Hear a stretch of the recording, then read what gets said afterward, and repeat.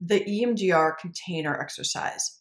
Whether you are working with a therapist on EMDR, or you're a therapist yourself working with clients with EMDR, or if you're doing EMDR self administered, this container exercise can be super useful for any of those times when you are feeling flooded with emotions or memories or just sort of overwhelmed with the things that are troubling you.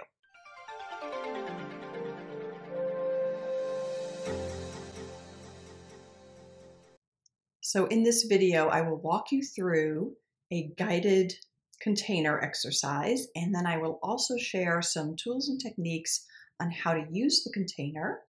And stay till the end because I have a free resource that I feel is very helpful for the EMDR process that I want to share with you.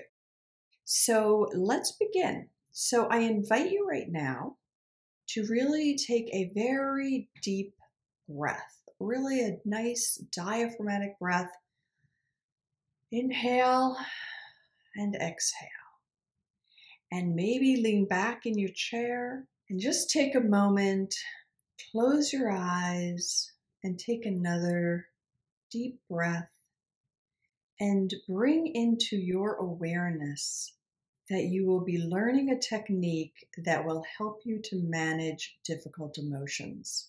So you can do this exercise with your eyes open or closed. Sometimes it's easier to visualize things with our eyes closed, but it's totally up to you.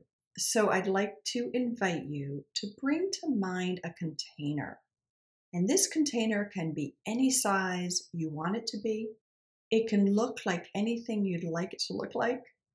And just make sure that it has a lid, it's a closable container, and it will be accessible. Now we're using our imaginations, so access can be imaginary as well.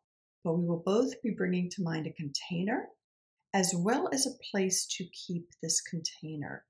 So I'm going to be quiet for just a moment and I invite you to really visualize a container that can safely hold your difficult feelings, difficult memories, and overwhelming events.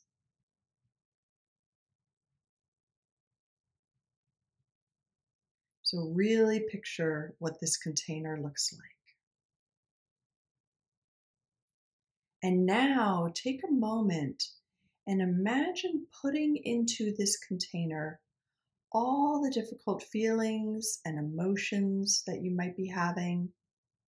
You can put into this container any difficult memories, memories that haunt you or trouble you, and just really take a moment and picture gathering all of that and putting it into the container.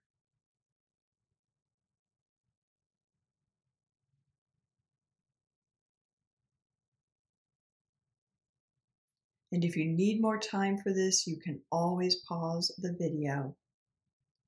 If you feel that you have put all your memories, if you could picture really putting everything into this container, let's go ahead and close the lid. And now I'd like you to think of where you'd like to store this container.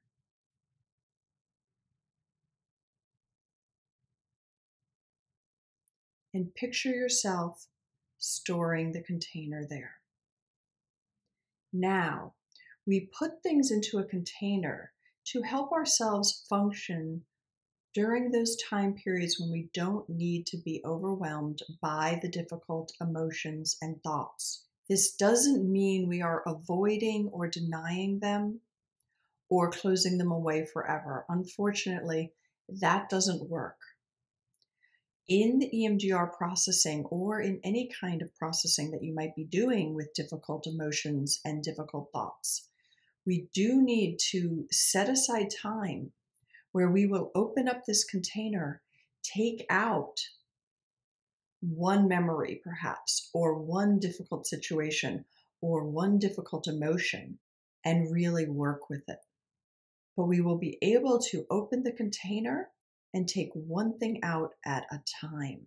So now I walked you through that exercise fairly quickly. It's a quick exercise without giving you a lot of guidance. But now that I'm talking and you've already gone through it, so your imagination has worked for you, I'm going to share some examples of containers. So sometimes people think of a very simple Tupperware type container, and some of them put it in their refrigerator. Other people might think of a beautiful vase or a decorated box. I have also had people who have thought of like tankers, like an oil tanker, and then they've wanted to hide it in the bottom of the earth or the bottom of the ocean. And if you do that, if you hide it far away, just know that you will be using your imagination to have a tool to access it, to pull it back from the bottom of the earth or back from the bottom of the ocean, because we are not locking these things away. And then other clients of mine, when I was seeing people in person, sometimes people would say, I want to leave the container on your bookshelf, and that's fine. So if you do go to see a therapist in person, you can picture the container waiting in his or her office, and then you can access that material when you have somebody to work it through with. So I'd also like to give you some examples of how this is used, who this can benefit, and so that you can really begin to use this technique, which can be very useful. Before I do that, I'd like to mention the PDF. It's a free PDF that I have. It's called Transform Your Negative Core Beliefs. And it derives from the EMDR process. It helps you really identify that negative core belief and it provides you with three exercises that you can do to strengthen the positive core belief, to strengthen the positive core belief that offsets your negative core belief.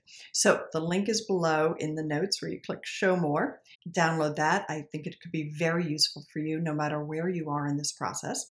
And then I also want to mention I have recently become an affiliate of Virtual EMDR, which is an online EMDR program. This program guides you through the EMDR process, and you can have unlimited EMDR sessions. And you can do it completely on your own, or you could work with a coach. They do have coaches within the program that can help you go through the process. Now, one reason I'm super excited to become an affiliate with Virtual EMDR is that so many of my listeners are all around the world and many people do not have access to therapy or the therapy is too expensive. So I think this virtual EMDR provides a wonderful solution. So if you click show more under the notes under the YouTube video, you will find a link for the virtual EMDR program and you will also find a coupon code for 20% off. So they have given me that to be able to give to my followers which I think is wonderful. So I encourage you to check that out. So let's come back to when you can utilize this and what types of situations it comes into play for. So, for people who have flashbacks from traumatic events or very upsetting events, the container exercise is something to use on a regular, ongoing basis. So, pretty much the moment you realize that you are in flashback mode, try to put the entire memory, the sights, smells, all of the bells and whistles that go with that memory into your container. And then when you decide to sit down with your therapist or to sit down with the virtual EMDR program and go through this, you can take out that memory. So that would be one thing is if you have flashbacks. Another situation could be that something very upsetting has happened to you. You just had a major breakup or you've lost someone very close to you and yet you need to function. You need to go to work and not be crying all the time or you are a parent and you need to be taking care of your kids and not letting them know how upset you are. So, in those kind of situations, you can gather it all up, put it in the container, and then know that it is there for when you can process that, whether it's processing it with a friend, a therapist, or by yourself. And then the last situation I'd like to mention, there's many ways you can utilize this tool, but the last major one would be if you have so many memories and upsetting things that are happening and you kind of cycle from one to the other and it's hard to make progress processing one issue because another one comes up and another one comes up. Put them all into the container. Choose one to work with. Choose just one to work with and pull that one issue out of the container to work on.